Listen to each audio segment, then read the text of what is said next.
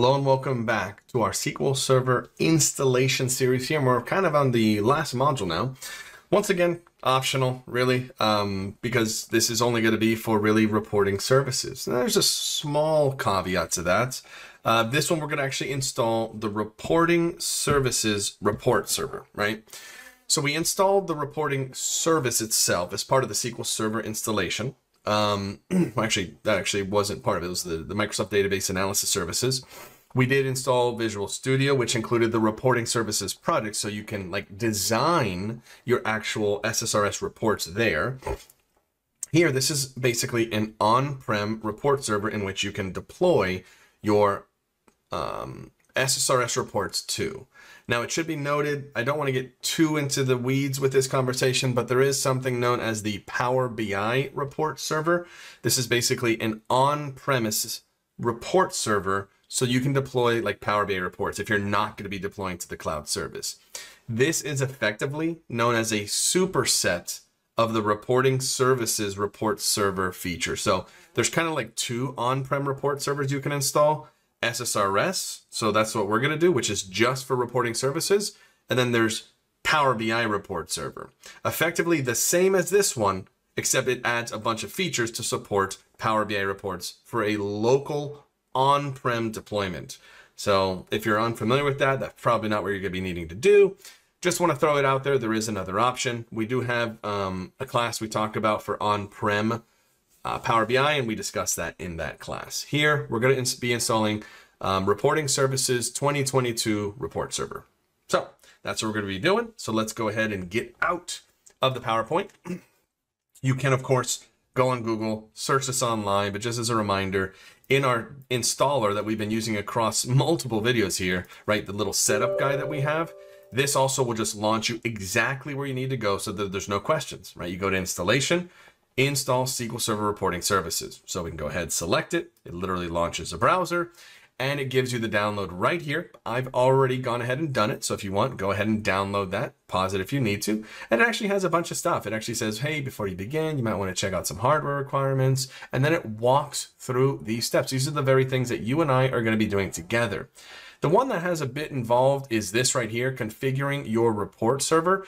Um, that one, it doesn't have a step-by-step. -step. I don't think it even has it here. It may. Yeah, there's no real step-by-step, -step, just some recommendations. Um, but we're going to be going through it once again. There actually are a lot of options in that configuration. Once again, we'll be just doing a basic one for the sake of being able to leverage this for our training classes, which once again, it's only if you're doing reporting services classes. That's the only reason why you would need this, okay? So if you want, you can leave this open. You can have the instructions there if you'd like. Once again, I've already gone ahead and downloaded that SQL Server reporting services item. So I'm going to go ahead and run this. Give that a moment. I want to install reporting services. What type of license? You could do evaluation, but once again, from an end user license agreement, the developer is a fully featured report server that is free, uh, but it's meant for, once again, development use, academic use. Uh, so just keep that in mind. So I'm going to go ahead and leave it to developer. Go ahead and hit next the user agreement that I was just kind of reminding. It says, hey, in order to do this, you're going to have to basically have, you're going to end up creating two databases, right? You're going to have a report database and a report temp DB. So report DB, report temp DB. Those are the default names that are used for them. So it's saying in order to do this, you need a database engine available. Now, technically, this database engine can exist elsewhere. It's just saying you, you're going to need to get to this eventually when you're configuring it. So, um, we're going to go ahead and do this, right? So I'm going to go ahead and hit next. Uh, just go ahead and use the default storage location. This, of course, is going to move through a little bit of a process. looks like it's moving through pretty quickly. Give that a second.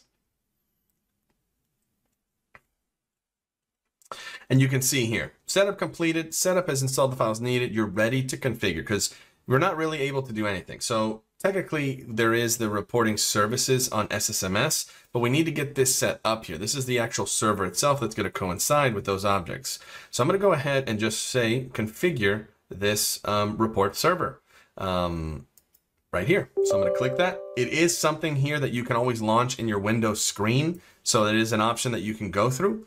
Uh, you can see this popped up. The main screen is actually on my other one. I'll drag it here in a moment, but it's saying, okay, which instance, which server do you want to connect to for reporting services?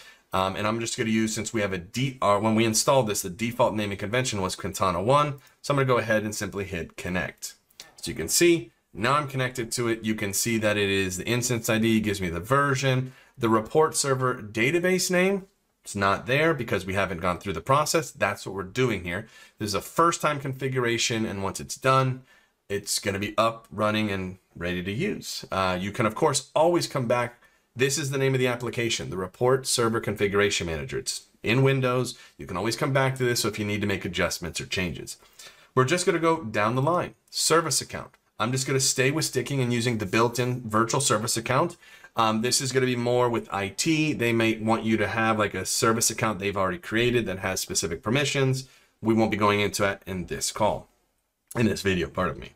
The web service URL. This is where we actually do have to move through and um, kind of make a decision, right? Right here, it's saying, hey, we're going to be using the report server web virtual directory. So we're going to call it report server. I'm going to leave it as the default. It's saying, do you want to use TCP port 80, all these fun different things. And it tells you what the URL is going to be.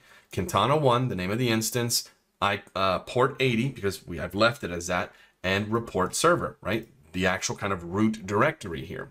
Uh, and I'm fine with that. I'm going to leave it as is. You can see it gives you some information.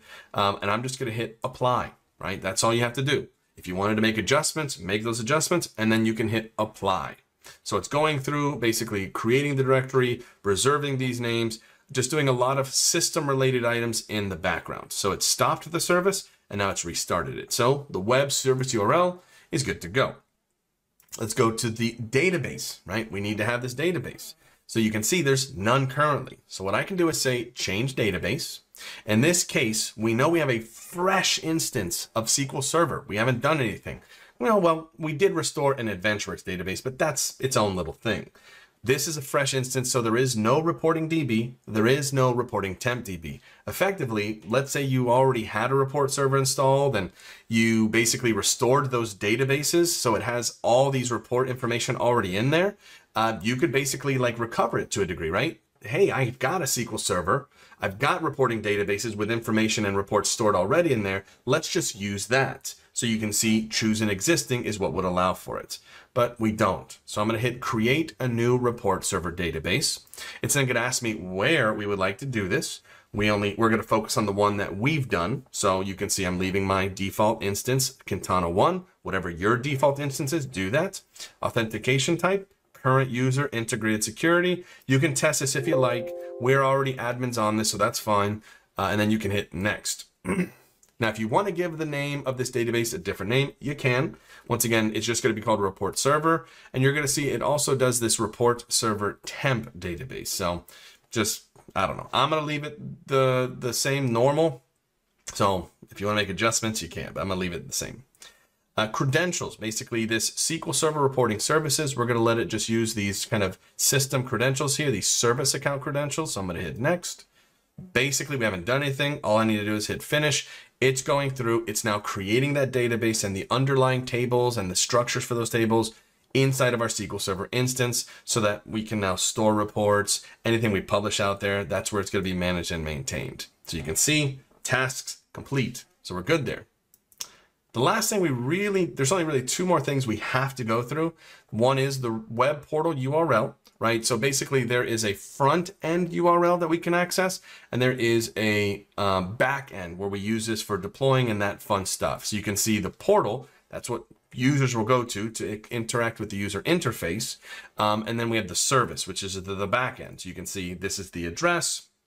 If we go here, we can see that it ends up just kind of not doing and it's still our, our, uh, server's not there, but it's there, it's up and running. So if we had different directories, those would appear here. But like I said, this is more for the back end. We're gonna provide our users access here on the web portal. So I'm gonna leave it as the virtual directory being reports. This is gonna be the URL. So let's go ahead and create it, reserve it. Should take a quick moment, not at all, nothing fancy since we haven't done anything beyond the defaults. It'll effectively, I think it stops the service once again and then starts it once again.